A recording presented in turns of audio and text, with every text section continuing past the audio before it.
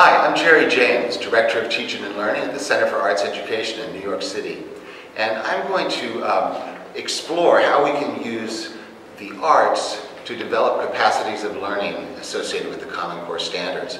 I'm going to ask Nellie, our Manager of Community and School Programs, to explore this worksheet, which is designed to promote understanding of metaphors in language and image. So I'd like you to look at this sheet and identify an issue or a social concern that you can represent as a descriptive image. Okay. Once you've done that, I'd like to see if you can represent it as a metaphorical image. So just to give you a couple of examples, here uh, I have homelessness as a social concern and a picture of a homeless person asking for money in New York City.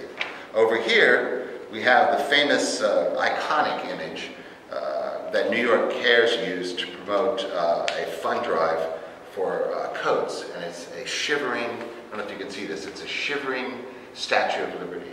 So here we have a literal image, and here we have a metaphorical image. So let's see what you can do. So the first challenge, perhaps, is deciding what you care about.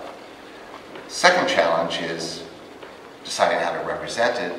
The third time is deciding how to abstract that representation into a larger, more powerful metaphorical image, right?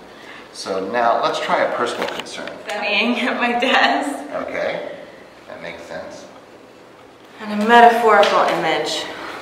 This is the more abstract, troublesome one.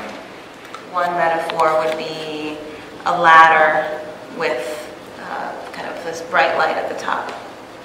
The image of a ladder with a bright light at the top. All right, that sounds good. Write that down.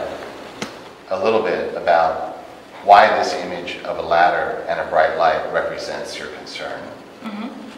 And I'd like you, like you also to write or make a, a list.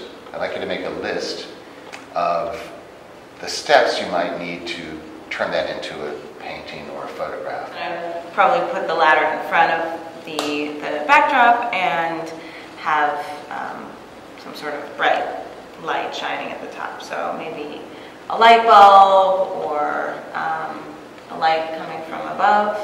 What is the, the light, what does the light bulb signify to you? Um, the pursuit of knowledge. Uh-huh.